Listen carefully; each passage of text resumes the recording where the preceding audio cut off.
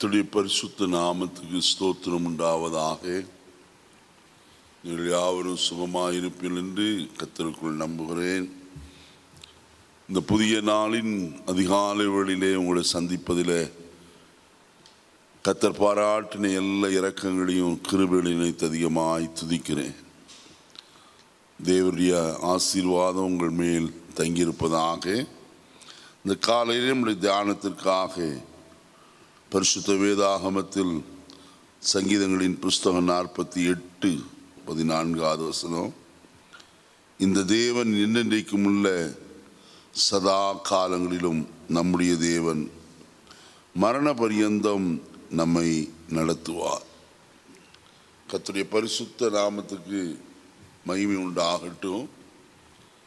பக்தராகிய தாவீது அருமையான இந்த சங்கீதத்திலே சொல்கிறார் இந்த தேவன் என்றென்றைக்கும் உள்ள சதா காலங்களிலும் நம்முடைய தேவன். இவர் நமக்கு சொந்தமான தேவனாய் காணப்படுகிறார். இவரை நமக்கு சொந்தமாய் கொண்டிருப்பது ஒரு பெரிய ஆசீர்வாதமான ஒரு அனுபவமாய் காணப்படுகிறது. ஏனென்று சொன்னால் கத்துடைய வசனத்தில் முப்பத்தி மூன்றாம் சங்கீதத்தில் பனிரெண்டாவது வசனம் சொல்கிறது கத்தரை தங்களுக்கு தெய்வமாக கொண்ட ஜாதியும் அவர் சுதந்திரமாக தெரிந்து கொண்ட ஜனமும் பாக்கியம் உள்ளது கத்தரை நமக்கு தெய்வமாய் கொண்டிருக்கிறபடினாலே நம்முடைய தேவனாய் அவர் காணப்படுகிறபடினாலே நாம் பாக்கியம் உள்ளவர்கள் என்று கத்திர வசனம் திட்டமும் தெளிவுமாய் நமக்கு போதிக்கிறத பார்க்கலாம். ஆகையால் இந்த தேவனை போல ஒரு தேவன் இந்த உலகத்தில் வேறு ஒருவரும் இல்லை என்று தைரியமாய் சொல்ல முடியும். ஏனென்றால் சங்கீத நூற்றி நாற்பத்தி நான்கு பதினைந்தாவது வசனம் சொல்கிறது இவ்விதமான சீரை பெற்ற ஜனம் பாக்கியம் உள்ளது. கத்தரை தெய்வமாக கொண்டிருக்கிற ஜனம் பாக்கியம் உள்ளது மறுபடியும் மறுபடியுமாய் சொல்லப்படுகிற ஒரு வார்த்தை கத்தரை தெய்வமாய் கொண்டிருக்கிற ஜனம். அவர் எப்படிப்பட்டவர் என்று சொல்லி கத்துடைய வேதத்திலே நாம் வாசிப்போமானால் நாற்பத்தி எட்டாம் சங்கீதத்தில் முதல் வசனத்தில் வாசிக்கும் போது வசனம் சொல்கிறது கத்தர் பெரியவர்.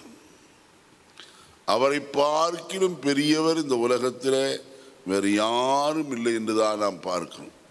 அப்படிப்பட்ட பெரியவர் நம்முடைய வாழ்க்கையிலே செய்கிற காரியம் என்ன என்பதுதான் இந்த காலைவெளியிலே நாம் சிந்திக்க இருப்பது. ஏசாயா தீர்க்கதரிசியின் புஸ்தகத்திலே நாம் வாசிக்கும் போது அவருடைய குணாதிசயத்தை குறித்து ஒன்று சொல்லப்பட்டிருக்கிறது. வாசிப்போம். ஏசையா திருக்கதரிசியின் புஸ்தகம் முப்பத்தி எட்டாம் அதிகாரம். ஐந்தாவது வசனம். நீ போய் இசைக்கியாவை நோக்கி. உன் தகப்பனாகிய தாவிதின் தேவனாயிருக்கிற கர்த்தர் சொல்லுகிறது என்னவென்றால் உன் விண்ணப்பத்தை கேட்டேன் உன் கண்ணீரை கண்டேன். உன் நாட்களோடு பதினைந்து வருஷம் கூட்டுவேன். தீர்க்கதரிசியாகிய ஏசையாமிடத்தின் கத்தர் சொன்னதான வார்த்தை. நீ போய் என் ஜனத்தின் அதிபதியாகிய இசைக்கியாவிடத்தில் சொல்ல வேண்டிய ஒரு காரியம். நீர் உமது வீட்டு காரியத்தை ஒழுங்குபடுத்தும். இனி பிழைக்க மாட்டீர் என்று சொல் என்று சொன்னார். உடனே ராஜாவாகிய சேக்கியா சுவர்புறமாய் திரும்பி கொண்டு அவன் அழ ஆரம்பித்து விட்டான். அவன் சொல்லுகிற வார்த்தை மூன்றாவது வசனத்தில் சொல்லப்பட்டிருக்கிறது. ஆ கர்த்தராகிய ஆண்டவரே நான் உமக்கு முன்பாக உண்மையும் மன உத்தவமாய் நடந்து உமது பார்வைக்கு நலமானதை செய்தேன் என்பதை நினைத்தருளும் என்று விண்ணப்பம் பண்ணி மிகவும் அழுகிறவனாய் காணப்பட்டார். மிகவும் அழுதார். கிரைடு பிட்டர்லி அவ்வளவு அழுகிறவனாய் கத்துடைய சமூகத்தில் காணப்படுகிறான் ஏசையா அந்த வார்த்தையை சொல்லிவிட்டு திரும்பி போய்விட்டார். அவர் பாதி முற்றத்தை கடந்திருக்கும் போது மறுபடியும் ஏசையாவுக்கு கத்துடைய வார்த்தை வந்தது. ஏசையாவே நீ திரும்பி போய் இசைக்கியாவை பார்த்து சொல்ல வேண்டிய ஒரு வார்த்தை உன் விண்ணப்பத்தை கேட்டேன் உன் கண்ணீரை கண்டேன். உன் ஆயுசு நாட்களோடு கூட பதினைந்து வருஷம் கூட்டுவேன் என்று சொல்லு என்று சொல்கிறார் கத்தர் நம்முடைய கண்ணீரை காண்கிற தேவனா இருக்கிறார் இசைக்கியாவுடைய கண்ணீர் அவ்வளவு அதிகமாய் காணப்பட்டது. நம்முடைய கண்ணீர் சிந்துதலை ஆண்டவர் விரும்புகிறவர் இல்லை நம்முடைய கண்ணீரை எல்லாம் அவர் காண்கிறவர். வனாந்திரத்திலே அலைந்து திரிந்து தன் பிள்ளை சாகிறதை விரும்பவில்லை என்று சொல்லி பிள்ளையை தூரமாய் கிடத்திவிட்டு அவள் அப்புறம் போய் அவள் மிகவும் அழுதாள் என்று வேதம் சொல்கிறது. வசனத்தில் நாம் பார்க்கிறோம் கத்தர் ஆகாருடைய கண்ணீரை கண்டார். அங்கே அவளுக்காக செய்த காரியம் அவளை கண்களை திறந்தார். ஒரு சுரக்கும் நீரூற்றை காணும்படிக்கு கத்தர் செய்தார். அற்புதம் நடந்தது என்று நாம் பார்க்கிறோம். நாம் எப்போதும் கண்ணீரோடு கூட இருப்பதை ஆண்டவர் விரும்புகிறவர் அல்ல. தம்முடைய ஜனங்கள் கண்ணீர் சிந்துகிறதை அவர் ஏற்றுக்கொள்கிறவர் அல்ல.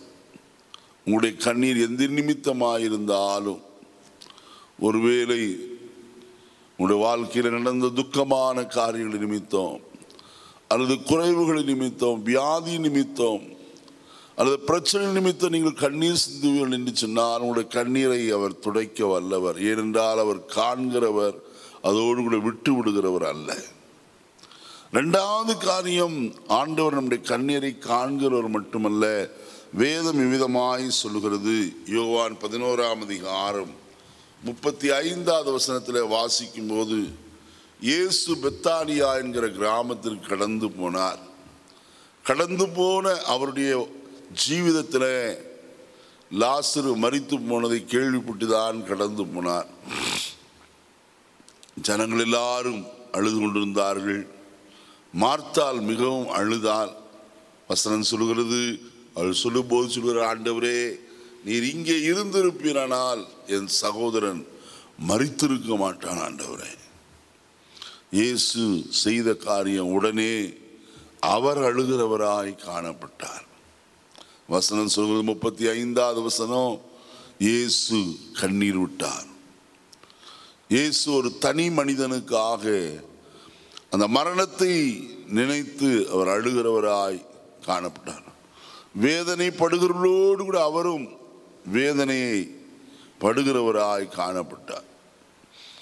அவர் பார்த்து கொண்டு சும்மா இருக்கிறவர்கள் நம்முடைய வேதனைகளை அறிந்தவர் நமக்காக வேதனையை படுகிறவராய் காணப்படுகிறவர். அடுத்த கத்தோடைய வசனத்தில் நான் வாசிக்கும் போது லூக்கு எழுதின சுவிசேஷம் பத்தொன்பதாம் அதிகாரம் நாற்பத்தி ஓராவது வசனத்தில் இயேசு எருசலேமுக்கு நேராய் பவனி போனார். எருசலேம் நகரத்தை பார்த்து அவர் கண்ணீர் சிந்தினார் என்று வேதம் சொல்கிறது. தனி மனிதனுக்காக மட்டுமல்ல ஒரு பட்டணத்திற்காகவும் அவர் கண்ணீர் சிந்துகிறவராய் காணப்பட்டார். எருசலேமே எருசலேமே கோழி தன் குஞ்சுகளை தன் செட்டையின் கீழ் சேர்த்து கொள்ளும் வண்ணமாய். எத்தனை தரமோ உன்னை சேர்த்து கொள்ள மனதாயிருந்தேன். இப்பொழுதோ உனக்கு மனது இல்லாமற் போயிற்று. என்று சொன்ன கர்த்தர் அந்த எருசலேம் நகரத்தின் முடிவை அவர் அறிவித்து கண்ணீர் சிந்துகிறவராய் காணப்பட்டார். உனக்கு கிடைத்த இந்த நாளை நீ அலட்சியம் பண்ணினபடினாலே தள்ளிவிட்டபடியினாலே இந்த கல் ஒரு கல்லின் மேல் ஒரு கல்லிராதபடிக்கு சகலமும் தகர்க்கப்படுகிற நாள் வரும் என்று சொல்லி அவர் சொல்லி கண்ணீர் சிந்தினார். இன்றைக்கும் அவர் கண்ணீர் சிந்துகிறவர் அவரை தூரமாய் தள்ளுகிறவர்களுக்கு வருகிற ஆக்கினையை அவர் அறிந்து அதற்காய் கண்ணீர் சிந்துகிறவராய் காணப்படுகிறவர். மூன்றாவது காரியம் இயேசு சர்வலோகத்திற்காக கண்ணீர் சிந்துகிறவர். வேதத்தில் நான் வாசிக்கிறோம். எபிரேயருக்கு எழுந்த நிருபம். அங்கே ஐந்தாம் அதிகாரம் ஏழாவது வசனத்திலே வாசிக்கும் போது இயேசு தாம் மாம்சத்திருந்த நாட்களில் தம்மை மரணத்திற்கு ரட்சிக்க வல்லமையுள்ளவரை நோக்கி பலத்த சத்தத்தோடும் கண்ணீரோடும் வேண்டுதல் செய்து விண்ணப்பம் பண்ணி என்று எழுதப்பட்டிருக்கு முழு உலகத்திற்காகவும் அவர் கண்ணீர் சிந்துகிறவராய் காணப்பட்டார். என்றால் அவர் சர்வலோகத்தின் பாவத்தை சுமந்து தீர்க்கிற ஆட்டுக்குட்டி என்று எழுதப்பட்டிருக்கிறது. எத்சவனே தோட்டத்தில் தம்முடைய ஜனங்கள் எல்லாருக்காகவும் இந்த பூலோகத்தின் ஜனங்களுக்காக தம்மால் சிருஷ்டிக்கப்பட்ட ஜனத்திற்காக கண்ணீர் சிந்துகிறவராய் காணப்பட்டார். அவர் கண்ணீரை காண்கிறவர் மட்டுமல்ல அவர் கண்ணீர் சிந்துகிறவர். மூன்றாவது காரியம் கத்தனை வேதத்தில் நான் வாசிக்கும் போது பரிசுத்த வேதாகமத்தில் ஏசையா தீர்க்கதரிசியின் புஸ்தகம் இருபத்தி ஐந்தாம் அதிகாரம் எட்டாவது வசனத்தில் அவர் மரணத்தை ஜெயமாக விழுங்குவார். கத்தராயி தேவன் எல்லா முகங்களிலும் இருந்து கண்ணீரை துடைத்து தமது ஜனத்தின் நிந்தையை பூமியில் இராதபடிக்கு முற்றிலும் நீக்கி விடுவார். கர்த்தரே இதை சொன்னார். வசனத்தில் எழுதப்பட்டிருக்கிற காரியம் அவர் ஜனத்தினுடைய கண்ணீரை எல்லா முகங்களையும் இருந்து துடைக்கிறவர். கண்ணீரை அவர் காண்கிறவர் மட்டுமல்ல நமக்காக கண்ணீர் சிந்துகிறவர் மட்டுமல்ல அவர் நம்முடைய கண்ணீரை காண்கிற தேவனுமாய் இருக்கிறவர் மட்டுமல்ல அவர் கண்ணீரை துடைக்கிறவராய் இருக்கிறார் எந்த காரியத்து நிமித்தம் கண்ணீர் சிந்துகிறவளாய் காணப்பட்டாலும் அந்த கண்ணீரை அவர் துடைப்பார். என்று சொன்னால் துக்கத்து நிமித்தம் வேதனை நிமித்தம் நீங்கள் கண்ணீர் சிந்தினால் அல்லது வியாதி நிமித்தம் கண்ணீர் சிந்தினால் கத்துறதற்கு மூல காரணமாக இருக்கிற வியாதியை உங்களை விட்டு நீக்கி போட்டு அழாதபடி உங்களை காக்கிற தேவனாயிருக்கிறார். வேதத்தில் நான் வாசிக்கிற வேளையில் வெளிப்படுத்தின விசேஷம் இருபத்தி ஓராம் அதிகாரத்தில் சொல்லப்பட்டிருக்கிற ஒரு தேவனுடைய வார்த்தை இவ்விதமாய் காணப்படுகிறது. நான்காவது வசனம் அவருடைய கண்ணீர் யாவையும் தேவன் துடைப்பார். இனி மரணமும் இல்லை துக்கமும் இல்லை அலறுதலும் இல்லை வருத்தமும் இல்லை. முந்தினவைகள் ஒழிந்து போயின என்று விளம்பினது. இங்கே சொல்லப்பட்டிருக்கிற கத்துடைய வார்த்தை இப்படியா இருக்கிறது? அவருடைய கண்ணீர் யாவையும் அவரே என்ன செய்வார்? துடைப்பார் என்று எழுதப்பட்டிருக்கிறது. எப்படி என்று சொன்னால் தேவன் அவர்களோடு கூட இருந்து அவர்களுக்குள்ளே வாசம் பண்ணி அவருடைய கண்ணீர் யாவையும் அவர் என்ன செய்கிறவர்? துடைக்கிறவர். இந்த காலை நேரத்தில் நம்முடைய வாழ்க்கையில் அவர் கண்ணீர் துடைக்கிற தேவனாய் காணப்படுகிறார். கண்ணீர் பல காரியங்களுக்காய் நாம் சிந்தக்கூடும். அதிகமான வேதனைகள் நாம் அனுபவிக்கும் போது நம்முடைய ஆத்மாவிலோ அல்லது வியாதி நிமித்தம் சரீரத்தில் வேதனை அனுபவிக்கும் போது அல்லது மற்றவர்கள் ஏதாகிலும் வியாதியிலோ அல்லது வருத்தத்தில் அகப்படும் போது அவர்களோடு சேர்ந்து நாமும் அழுகிறவர்களாய் காணப்படுகிறோம். நாம் எதற்காக கண்ணீர் சிந்தினாலும் சரி ஒன்று நன்றாய் அறிந்து கொள்வோம். அந்த கண்ணீர் சிந்துவதற்குரிய மூல காரணத்தை ஆண்டவர் மாற்றி போட்டு சுகத்தையும் ஆரோக்கியத்தையும் விடுதலையும் செழிப்பையும் நமக்கு தந்து நம்முடைய கண்ணீரை அவர் துடைக்கிறவராய் காணப்படுகிறார். ஆகையால் இந்த காலை வழியில் ஒன்றை அறிந்து கொள்வோம். நாம் ஆராதிக்கிற கத்தர் பெரியவர். அவர் மரண பரியந்தம் நம்மை நடத்துகிறவர். அவர் நம்முடைய வாழ்க்கையிலே தனி மனிதனுக்காகவும் ஒரு தேசத்து ஒரு பட்டணத்திற்காகவும் தேசத்திற்காகவும் கண்ணீர் சிந்துகிறவர். அதே சமயத்தில் கண்ணீரையும் துடைக்க வல்லவராய் காணப்படுகிறார். இந்த தேவன் என்னென்றைக்கும் உள்ள சதா காலங்களிலும் நம்முடைய தேவன். இவரை நமக்கு தெய்வமாய் கொண்டிருப்பது நம்முடைய பாக்கியம். அவரையே சேவிப்போம் அவரை பின்பற்றுவோம் அவர் நமக்காய் ஆயத்தம் பண்ணி இருக்கிற நித்திய ஜீவனுக்குள்ளே பிரவேசிக்க கருத்தாய் ஜாக்கிரதையோடு கூட நம்முடைய ஓட்டத்தில் ஓடுவோம் பரிசுத்தத்தை காத்து கொண்டு தேவன் தாமே உங்களை ஆசிர்வதிப்பாராக. தேவரின் நீர் சகலமும் செய்ய வல்லவர்.